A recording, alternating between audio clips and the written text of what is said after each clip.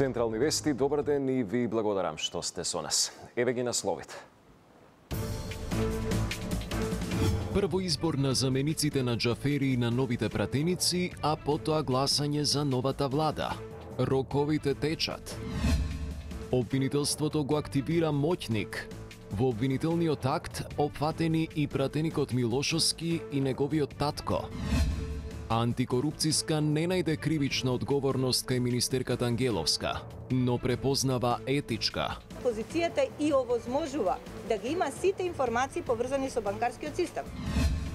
Четворица починале, 78 позитивни случаи во последното денонокие. Канал 5 истражува дали со негативниот тест завршуваат сите маки за пациентите. Се јавуваат веќе трајни промени во белите дробови мауси, лаптопи, тастатури.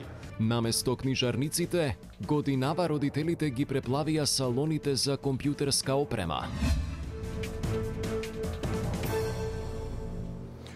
Обвинителството го активира случајот Моќник. Денеска поднесе обвинение за 13 лица што беа опфатени во истрагата, меѓу кои за пратеникот од ВМРО ДПМН Антонио Милошовски и неговиот татко. Милошовски се товари дека како мокен пратеник влијаел багателно да се распродава државен имот во македонски брод. Пратеникот реагира дека обвинителството продолжило да биде алатка за притисок на власта кон неистомислениците. Скопското јавно обвинителство поднесе обвинителен акт за случајот на згаснатото СЈО познат како Моќник во кој меѓу осумничините е и пратеникот од ВМРО ДПМН Антонио Милошовски, неговиот татко и екс-градоначалникот на Македонски брод Милосим Војнески. Случајот беше отворен пред две и пол години, а истрагата која водеше обвинителката Фатиме Фетај заврши на 5 март. Од тогаш до денеска се чекаше осумничините да направат увид во предметот, а сега откако обвинителниот акт е поднесен, се очекува одлука на кривичниот суд дали ќе го прифати обвинението. Во овој случај осомничени се 13 лица, од кои за 10 е поднесен обвинителен предлог. Милошовски се товари дека како исклучително моќен пратеник влијаел багателно да се распродава државен имот во македонски брод на неговиот татко, со што е нанесена штета од околу 50.000 евра. Во текот на 2011 година прво и второ обвинетиот заеднички со намера прво обвинетиот да прибави противправна имотна корист ги довеле во заблуда советниците во Советот на Обштина Македонски Брод со лажно прикажување и со прикривање факти за правниот статус и вистинската вредност на недвижностите, предмет на продажба. Тие ги навеле советниците да изгласаат одлука за отуѓување на недвижен имот, за кој советниците сметале дека е поранешниот задружен дом, а всушност одобриле отуѓување на зграда со корисна површина од 157 метри квадратни, со дворно место од 3920 метри квадратни во село Ижишта, општина Македонски Брод, која ја користела општина Пласница. Стои во сообштението на јавното обвинителство. За ова Милошовски се огласи на Фейсбук, каде напиша дека обвинителството продолжува да е алатка за притисок на власта кон неистомислениците, кои како што вели се соочуваат со ризикот да бидат неосновано обвинети со цел да бидат заплашени. Освен измамата околу нелегалната продажба на објектот, со овој случај опфатена и нарачана лустрација од Милошовски, па затоа освен за пратеникот, обвинение е поднесено и за поранешниот председател на комисијата за лустрација Томе Аджиев, кого според обвинителството, пратеникот го потикнал да отвори повторна постапка за лустрација на судијата Драги Билески.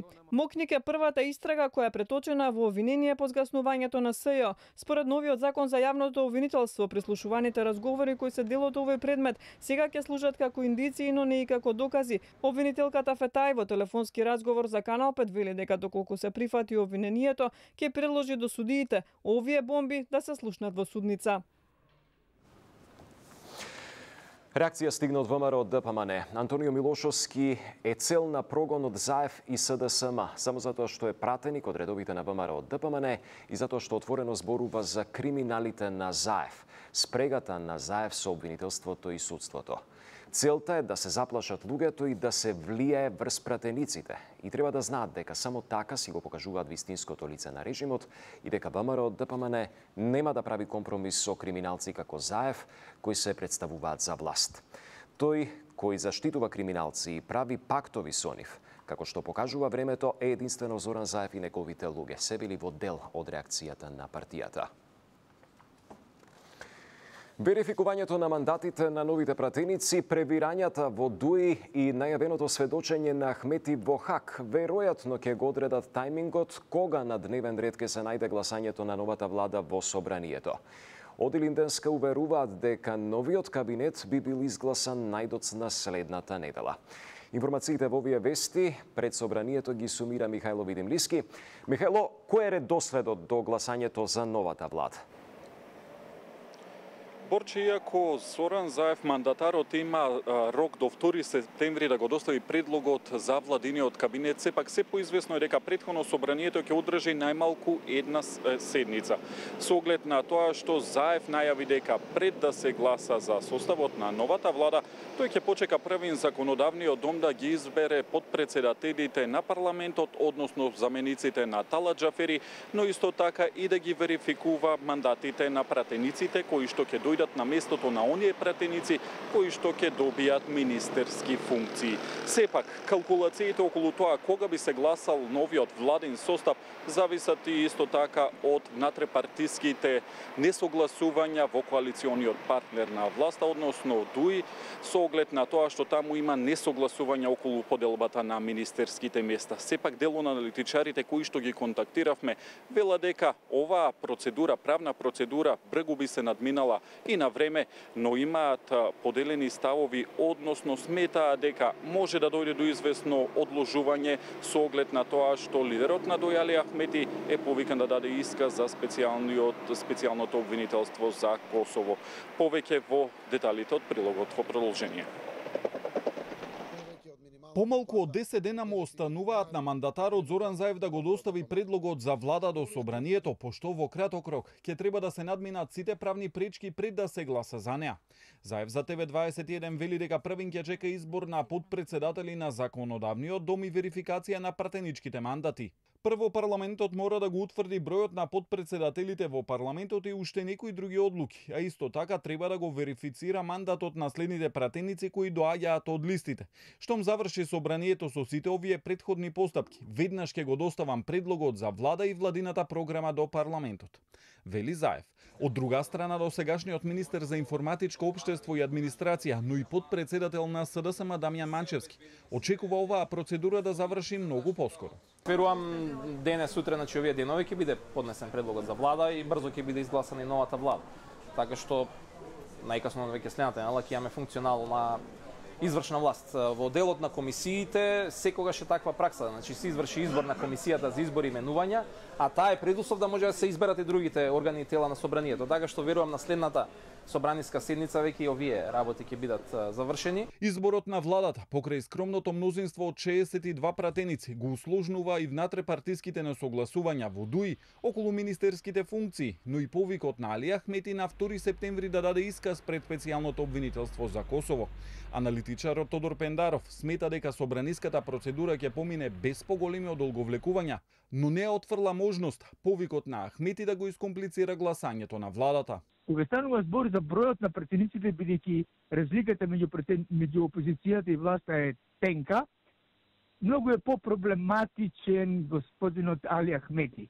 Али Ахмети е, знаеме само толку дека е поканет, повикан да се, да се јави пред Меѓународниот суд во Хак. Така да тука може би ќе има некакви некакви деловнички односно ќе биде тенко околу изборот на владата.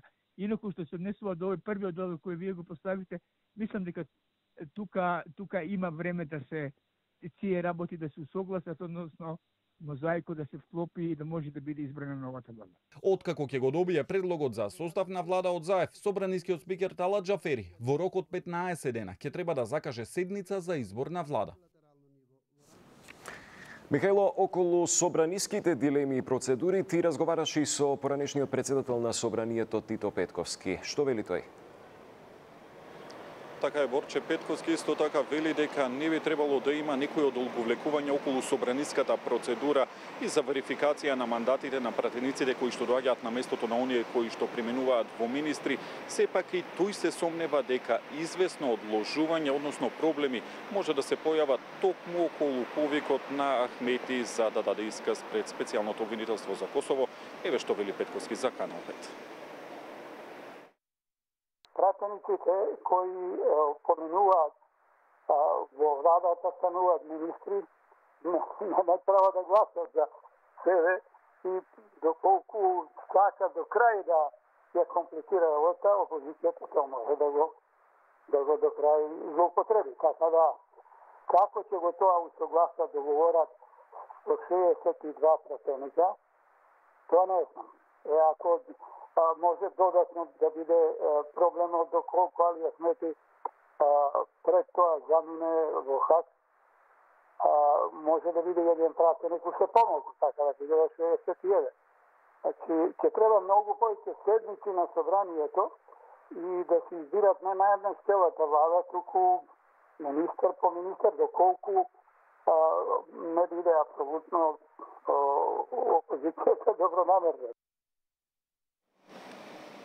Така Борче, тоа беше изјавата на поранешниот председател на Собранието Тито Петковски. До 2 септември е рокот на мандатарот Зоран Заев да го состави да го достави предлогот до Собранието за состав на влада. Сепак оптимистични се најавите од дел од сегашните министри дека веќе следната недела би можела да започне собраниската процедура. Студио. Михајло, ти благодарам за информациите во централните вести. Четврти ден продолжува притисокот на иницијативниот одбор врз лидерот на ВМРО ДПМН Мицкоски да закаже вонреден конгрес. Го повика уште утре да закаже конгрес на кој ќе се гласа за негова доверба и посочија дека имаат се поголема поддршка на делегати. Од ВМРО ДПМН пак возвратија дека немаат намера да задоволуваат нечии детски апетити. Расте притисокот за смена на Мицкоски. Иницијативниот одбор на ВМРО ДПМН и денеска побара што поскоро да се одржи вонреден конгрес за смена на раководството на партијата. Екс-градоначалникот на Дојран Борче Стамов вели дека поддршката за иницијативата расте секојдневно и смета дека ќе вроди со плод. Прашан дали меѓу иницијаторите и поранешниот висок функционер на партијата Сашо Мјалков, Стамов вели дека тој бил меѓу првите кои повика литно да се одржи конгрес. На лидерот на опозицијата му порачаа да покаже демократски капацитет и достојно да ја напушти функцијата поради изгубените избори. Да подсетам, предходните председатели, Георгиевски и Груевски, кои што ја раководеа партијата повеќе од 10 години двајцата и ја водеа низ повеќе победи и успеси, при првиот свој пораз го запазија овој стандард. Актуелниот председател ниту донесе победа, ниту еден успех. И нема никаква рационална причина тој да биде привилегиран пред Груевски и Георгиевски. Од партијата на пресконференција истакнаа дека писмено барање за вонреден конгрес до не все уште не пристигнало, но дека ќе го разгледаат во моментот кога ќе го добијат. Приоритет не име како што велат да задоволат нечии детски апетити, туку да се изборат против криминалната влада на Заев. Ние не исполнуваме нечии желби и не, и не сме тука за да задоволуваме нечии детски сништа и апетити кои што не им биле задоволени во изминатиот период. Ке повторам и ке потенцирам во нашата партија има партиски органи кои што одлучуваат за секакви процеси во иднина. До нас како политичка партија нема стигнато никакво барање од тој така наречен, само наречен иницијативен одбор. Веќе четврт ден сегашни бивши членови на ВМРО ДПМН го кренаа гласот против актуелната партиска структура. Мицкоски се уште нема излезено во јавноста да одговори на прозивките за негова смена. Кај министерката Нина Ангеловска нема основа за кривична одговорност, но има за етичка, констатираа од антикорупцијска за случајот поврзан со Евростандард банката. Постои веројатност Министерката за финансии Нина Ангеловска да имала повеќе информации од останатите штедачи во сега пропаднатата Евростандард банка, што ја става во попривилегирана состојба, тврде првиот човек на антикорупцијската комисија. Билјана Ивановска додава дека елементи за кривичен прогон за Ангеловска не се пронајдени, но се доведува во прашање етичноста, со оглед на фактот што како министерка таа била во постојан контакт со гувернерот. Не го знаела денот, значи немала информација кога ќе се случи и дали ќе се случи донесувањето на одлуката за стечај кога ги донесувала своите одлуки. Меѓутоа кажуваме дека е во позиција да ги обезбеди тие информации, да ги има тие информации, со што не ја става во ризична состојба, во состојба на судирна интерес. Ивановска предложи промена на регулативата која се однесува на судирот на интереси при комуникација меѓу институциите и нагласи дека согласно етичкиот кодекс многу е значајно да се отстрани и самото постоење на сомнеж за конфликт на интереси. Или ќе си ги чувам средствата и не ме интересира функцијата, или ме интересира функцијата и јас ќе ги сносам сите ризици, како и останатите штедачи што се таму. Значи, она е министер за финансии, да се разбереме. Она вака треба да ги има сите информации.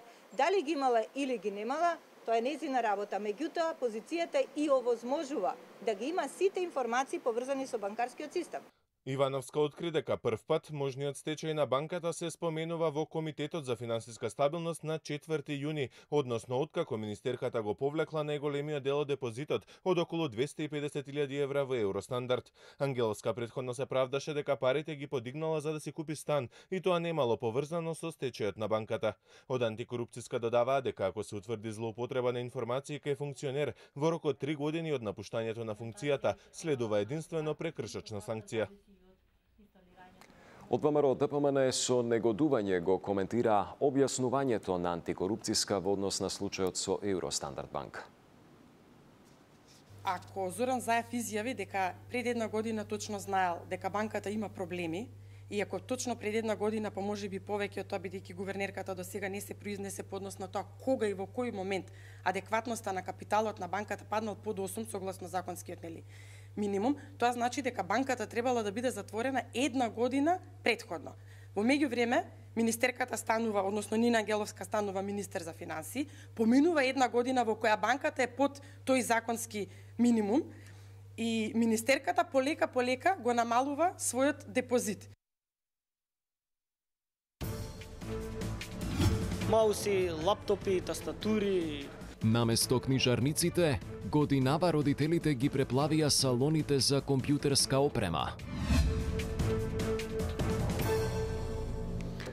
Негативниот COVID тест не значи крај на сите маки. Странските искуства дека дел од оздравените пациенти од коронавирусот и по два негативни теста имаат сериозни здравствени последици, за Канал 5 ги потврдуваат и од клиниката за пулмологија. Директорот Дејан Докич споделува искуства кога пациенти и по три месеци од негативниот тест имаат сериозни заболувања на белите дробови. Повеќе од Мирјана Мирчевска Јовановиќ. 67 годишен пациент е два месеци на клиниката за пулмологија и алергологија со последици од COVID-19 и покрај двата негативни теста по напуштањето на COVID болницата, каде бил хоспитализиран.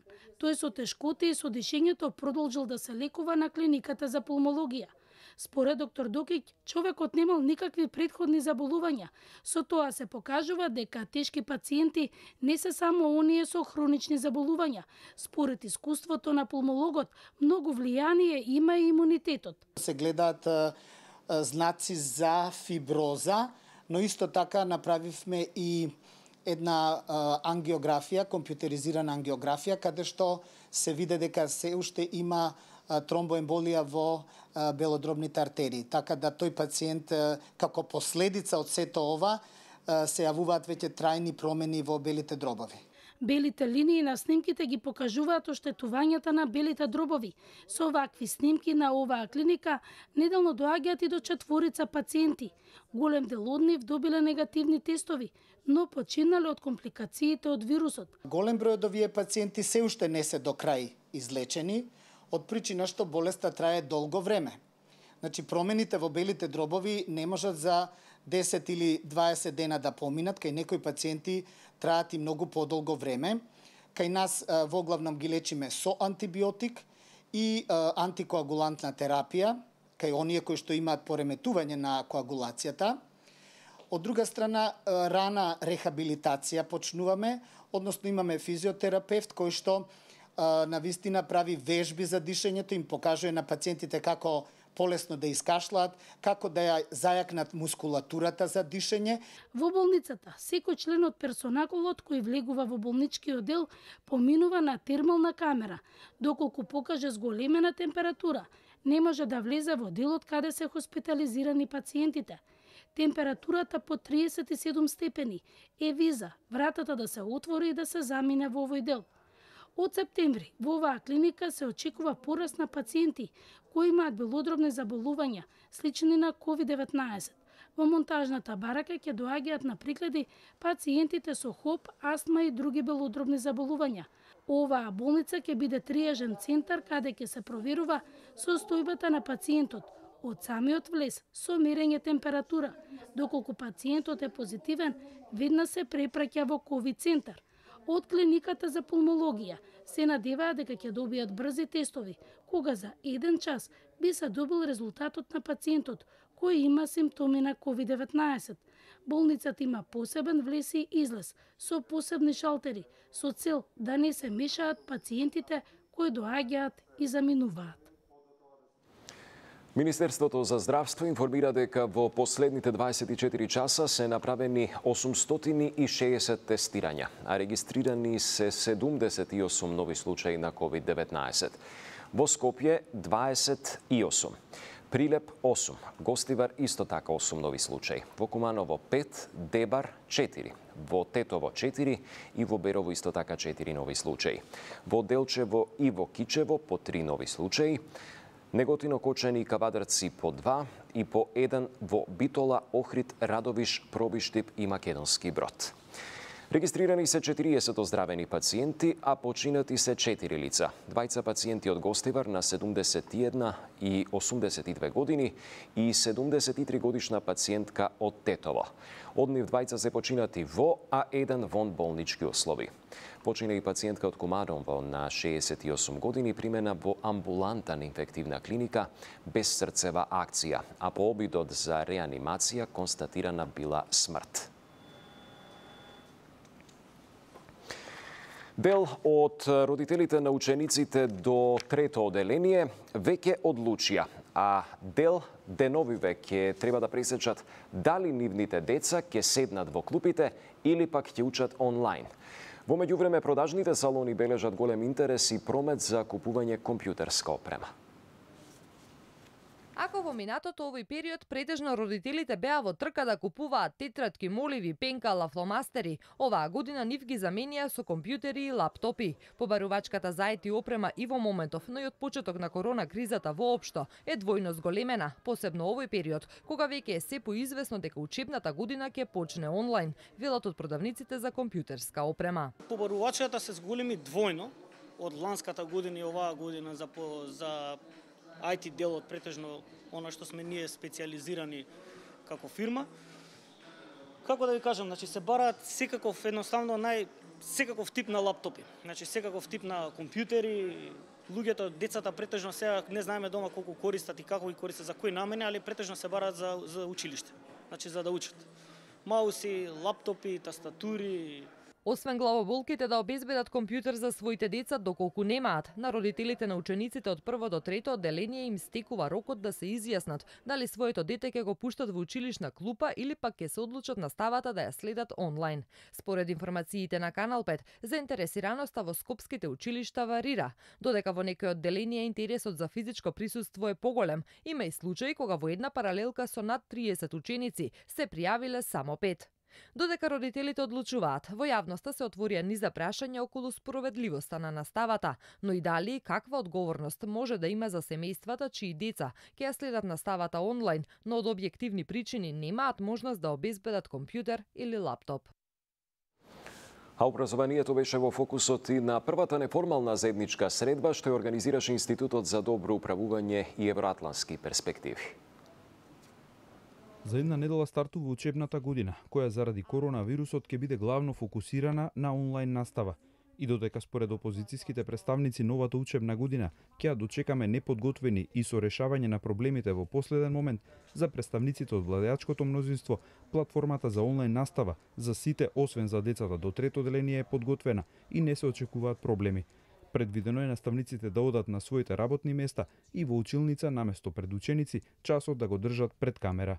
Ранливоста на сите системи е постои и секаде во светот. Но мислам дека во делот на образовниот систем особено и ова што го договараме и како начин на работење на владата и на собранието, се обезбедени сите услови и за заштита од и хардверски и софтверски упади. И барем во овие два дела што ги рековте, мислам дека добра е поставеноста на она што се планира да се направи. Треба владата да се соочи со критиките, да ги слушне критиките и врз основа на критиките и предлозите да се изгради соодветна стратегија како напред, бидејќи за жал во оваа ситуација во која што се наоѓаме во моментот, постои огромен ризик ние да имаме дебакал во нашиот образовен систем веќе за една недела од денес. Експертите со оценка дека доцниме со нивото на дигитализација во образованието и во институциите во оваа сфера предстои тешка работа. Надлежните органи треба да одлучат за онлайн наставата, со надеж дека ќе се обезбеди квалитетен и успешен образовен процес. Не постои нешто што не може да се спроведе, а, тоа важи за онлайн наставата. Дали е добро и колку е добро, ќе оставам на стручните надлежните во тој дел да се произнесат. Меѓутоа, ако не почнеме, а веќе доснеме со дигитализацијата на образованието, никогаш нема да бидеме подготвени за онлайн образование и за дигитална настава. Образовниот процес беше главна тема на првата неформална заедничка средба во организација на Институтот за добро управување и евроатлански перспективи. И натаму ни трага ни глас од осомничениот советник во општина Охрид Неф Хусеини и неговиот брат на кој има одреден притвор. Потерница се уште не е распишана. Дел од експертите по безбедност велат дека се зависи од проценката на судот, дали и кога би требало да биде активирана потерница.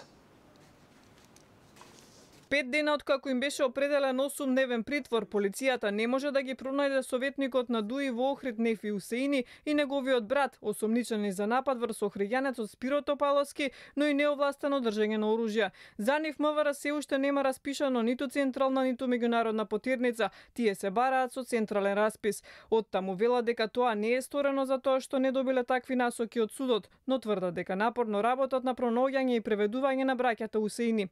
Но останува нејасно јасно зошто нема потирница со оглед на тоа дека од нив нема ниту трага ниту глас. Според поранешниот началник во МВР Љубомир Ѓурчевски, во моментот кога судот определил мерка притвор, бил должен да издаде наредба за распишување на потирница. Кога определил мерка притвор, бил должен да издаде и наредба за распишување на меѓународна потерница. Затоа што судот сигурно добил некакви известувања од страна на обвинителот кои се причините за недостапноста. Дали се лицата се предпоставува дека се надвор од Република Македонија, дека не се присутни на територија дека се кријат некаде и дека, значи се, со самото тоа се, се направиле недостапни. Предваден охриѓанецот Топалковски кој јавно обвини дека бил тепан и добил закана со пиштол од браќата Усеини, пред очите на неговиот малолетен син, се предомисли ја смени изјавата, со што случајот доби поинаков правец. Сега тој тврди дека станува збор за недоразумение разбирање и оти му се причинило дека тие имале огнено оружје. Според Јурчевски топката сега е префрлена во јавното обвинителство кое треба да утврди дали сега има елементи за лажно пријавување од страна на Топаловски. Знаете, тоа кривично дело малку предизвикува и револ кај граѓаните кога за прв пат ќе се пријавите, кога за прв пат ќе се објави дека некој сторил такво насилно кривично дело каде што било употребено, па уште ако е од различна националност, нели, па тоа да создава дополнителна нервоза, паника, омраза и така натака. Од обвинителството вела дека работат на случајот за кој прибираат материјални докази и сослушуваат сведоци. Охриѓанецот Топаловски велат бил сослушан во текот на минатата недела, но не откриваат каков бил неговиот исказ. Инспекцијските служби во Скопје трагаат по лабораторија која фрлила медицински отпад во контейнер за комунален отпад во близина на спортската сала Борис Трајковски. Од град Скопје појаснуваат дека се работи за шприцеви кои непрописно биле одложени. Инспекциските служби трагаат по лабораторијата, која ни соодветно го одложила медицинскиот отпад за време на една од акциите кои што редовно ги спроведуваат комуналните предпријатија. Пронајден е несоодветно фрлен медицински отпад во контейнер за комунален отпад. Град Скопје апелира до граѓаните да ја чуваат животната средина и јавните површини од загадување. Од таму велат дека и несовесните сторители ќе бидат санкционирани. Во моментот кога беше пронајдена пронајден самиот отпад, службите на градот ги, ги викна службите, специјалните служби од Дрисла, кои што дојдоа со специјално возило, го подигнаа отпадот за да биде специјално одлаган. Ние како град Скопје тоа што моментално може да направиме е да апелираме до, до сите компании кои што работат со а, ваков вид на отпад да бидат попредпазливи за да се чуваме животната средина. Што се однесува до конкретниот случај, моментално се работи на истражување на а, на целиот настан, па веруваме дека во периодот кој што доаѓа ќе имаме и конкретни информации врска Медицинскиот отпад има опасни својства за животната средина и потенцијал да нанесе штета на човековото здравје и на животните. бидејќи е посебен вид, медицинскиот отпад бара и соодветен начин на постапување со него, доколку правилно не се одложува, предизвикува токсичност, канцерогеност, запаллив е и радиоактивен. Екипите на градскиот инспекторат со поддршка на екопатролата на јавното предпријатие Комунална хигиена секој викенд спроведуваат акции за контрола на јавните површини во однос на непрописното фрлање отпад. Уште една информација од светот за крај. Берлинската универзитетска болница Черит попладнево соопшти дека клиничките резултати на лидерот на руската опозиција Алексеј Навални укажуваат на тоа дека тој бил отруен. Болницата открива дека Навални се уште е во индуцирана кома и дека тоа е во сериозна, но не и опасна по живот состојба. Понатаму се вели дека Навални може да остане со долгорочни последици врз неговиот нервен систем. Според германските лекари, најверојатно се работело за субстанца која се користи за лекување деменција, исто така како инсектицид. Навални се разболе во авионот од Томск до Москва минатата недела, пошто беше префрлен на лекување во Берлин. Тука ги завршуваме централните вести. Ви благодарам за вниманието. Останете тука само вистина е по продолжение. Пријатно.